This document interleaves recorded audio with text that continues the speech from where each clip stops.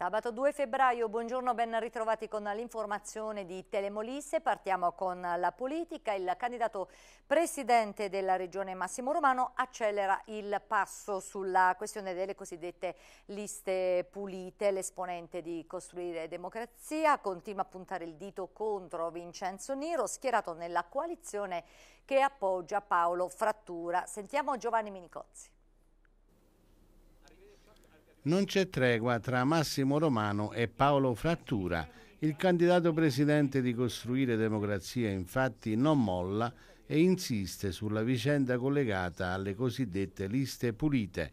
In particolare Romano non ha digerito la replica dell'aspirante presidente Paolo Frattura e ha voluto precisare la sua posizione.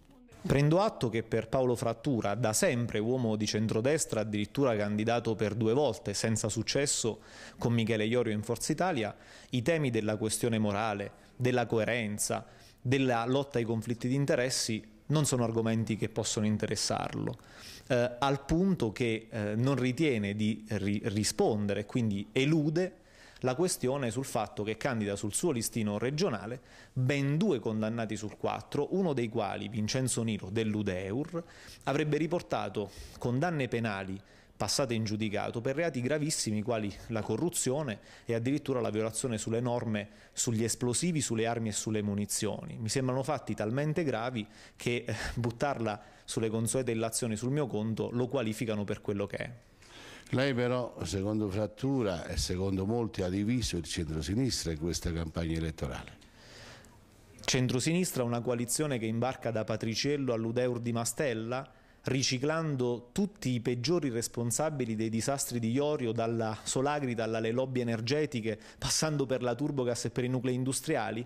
Non credo di essere stato io ad aver diviso il centro-sinistra, credo che è stato Frattura anzi il compagno frattura o il compagnone frattura ad averlo trasformato nella brutta, anzi bruttissima copia di Michele Iorio e del centrodestra e di questo se ne assumerà la responsabilità di fronte agli elettori che tuttavia sono certo lo avranno capito e lo stanno dimostrando.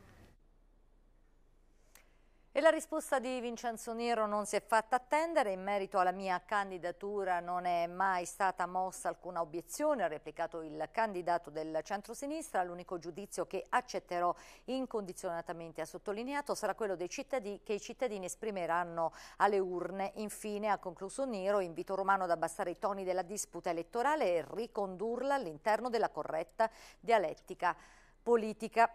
Cambiamo argomento, parliamo di sanità. Lo studio Molisani della Fondazione Giovanni Paolo II di Campobasso ha realizzato nuove importanti eh, scoperte sulle piastrine. Giuseppe Lanese. Le piastrine, cellule fondamentali per la guarigione delle ferite, non sono uguali per tutti. Ci sono differenze infatti tra uomini e donne, tra diverse fasce di età e anche tra varie aree geografiche. È ciò che emerge da una ricerca nazionale a cui ha collaborato anche il progetto Molisani della Fondazione Giovanni Paolo II di Campobasso. L'apporto dato alla ricerca scientifica dalla ex cattolica è stato fondamentale e ha riguardato gli studi effettuati su oltre 20.000 molisani adulti. Alla fine dovranno essere rivisti i valori di riferimento delle piastrine nel sangue, giudicati al momento normali, compresi tra un minimo di 150.000 e un massimo di 400.000 per microlitro. La Fondazione Giovanni Paolo II di Campobasso ha partecipato al progetto di ricerca insieme ad altre nove istituzioni scientifiche italiane. I risultati sono stati pubblicati sulla rivista di settore Plus One, in cui si spiega che le donne hanno in media un numero più alto di piastrine, che con l'età la quantità di queste cellule diminuisce, nei ragazzi al di sotto dei 15 anni invece il numero è decisamente più alto rispetto ad altri periodi della vita, senza che si notino differenze tra uomini e donne. Incide sulla quantità di piastrine nel sangue anche il luogo in cui si vive. La ricerca permetterà di curare in maniera più mirata ogni fascia della popolazione. Da questi grandi progetti, ha detto Giovanni De Gaetano, membro del comitato scientifico dello studio Molisani, possono derivare informazioni cruciali e scaturire nuovi metodi di indagine e terapie. L'ISIS di Boiano propone nella, per la giornata di oggi l'Open Day per accogliere i ragazzi che sono in procinto di iscriversi alle scuole superiori e illustrare l'offerta formativa. La sede di Via Colonno resterà aperta in mattinata fino alle 13 per i ragazzi e nel pomeriggio per le famiglie fino alle 19. Valorizzare i talenti locali portando a Campobasso grandi nomi della musica e dello spettacolo è la ricetta anticrisi proposta da Michele Stella, imprenditore storico nei settori dei locali da ballo, che ha presentato le novità in arrivo nelle prossime settimane. Si parte da questa notte quando all'Alexander sarà ospite il tronista Alessandro Pes. Sentiamo Maria Giovanna Passarelli.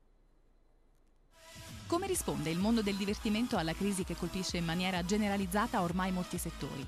Lo abbiamo chiesto a Michele Stella, storico capitano dei locali da ballo più in voga in città. Valorizzazione dei talenti locali e ospiti scelti con perizia, ha spiegato l'imprenditore, illustrando la sua ricetta anticrisi e annunciando per i prossimi mesi l'arrivo di grandi nomi, tanto della musica che del mondo patinato del gossip. La sfilata di personaggi parte già da questo sabato, quando, ha spiegato Stella, arriverà all'Alexander una star estremamente attuale, Alessandro Pes. Il bellissimo di turno è salito sul trono di uomini e donne solo mercoledì scorso ed è già amatissimo dal pubblico. Il personaggio, per la verità, è già noto. Come attore è stato protagonista di film, corti e fiction, tanto in Mediaset che in Rai, e nei suoi 31 anni non si è fatto mancare esperienze come doppiatore, modello, cultore della forma fisica. Discorso a parte per il carnevale. Nella serata del 12 febbraio la direzione del locale di Colle delle Api ha pensato in maniera positiva alla sicurezza dei ragazzi, con un servizio navetta che collegherà anche centri lontani dal capoluogo, come ad esempio Boiano, in modo che chi vuole divertirsi non corra rischi in auto. Nella sezione in gergo chiamata Coming Soon, eventi in arrivo, una originale console tutta in rosa, tre bellissime, DJ, vocalist ed una violinista per arricchire dal vivo uno spettacolo inedito. Sull'arrivo di Tony Enfris a Campobasso, annunciato ancora da Stella e previsto nelle prossime settimane, c'è poco da aggiungere. Dall'alto dei suoi 55 anni, il DJ, giornalista e produttore,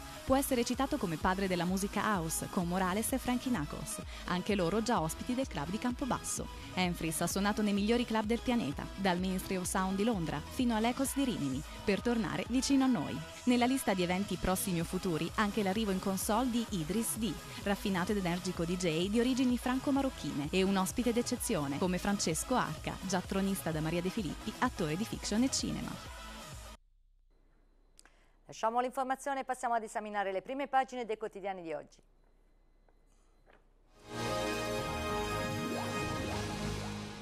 Con Gianfrancesco Iacaruso partiamo il, dal giornale del Molise.it, Iorio contro tutti, il governatore si gioca al maggioritario la partita della vita, vediamo più nel dettaglio. Le prossime elezioni regionali assomigliano sempre più ad un referendum, una partita che, pronostico alla mano, dovrebbe giocarsi a tre, Iorio, Frattura e Romano.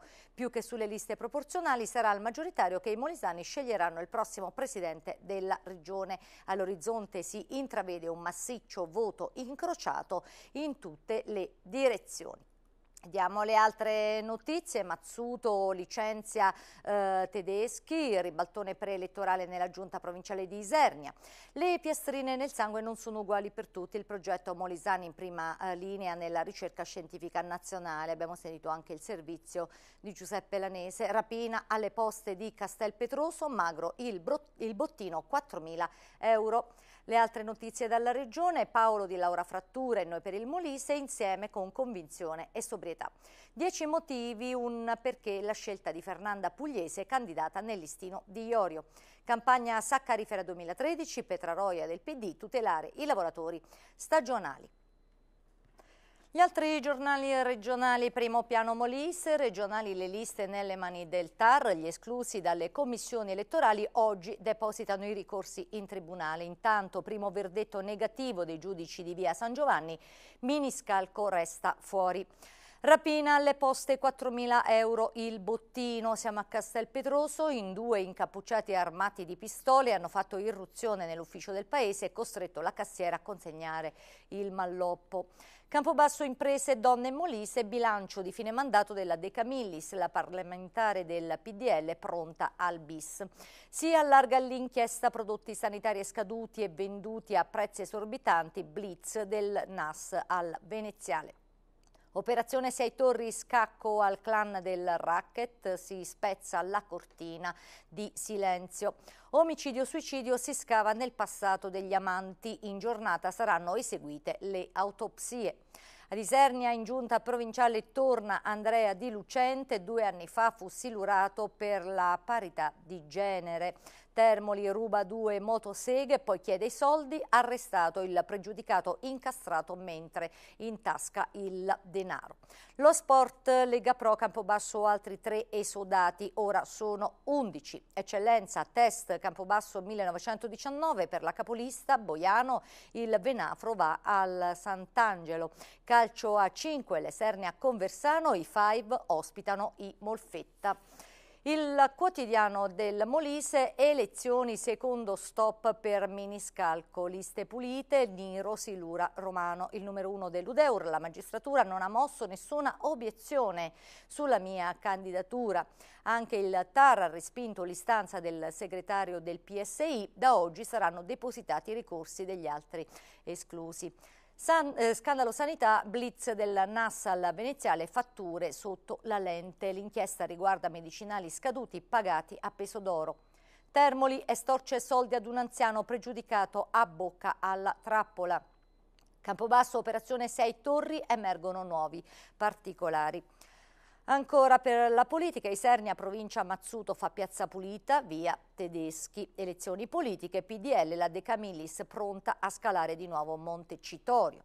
Assalto alle poste e caccia ai banditi ieri mattina a Castel Petroso, la rapina all'ufficio postale, lo sport, Lega Pro Campobasso chiuso il mercato, si pensa al Ponte d'Era, eccellenza tre anticipi, il Campobasso 1919 ospita la capolista Boiano i fatti del nuovo Molise, pistole in pugno rapinano le poste, il colpo a Castel Petroso, portato via il denaro delle pensioni appena consegnato all'ufficio, bottino di 4.000 euro.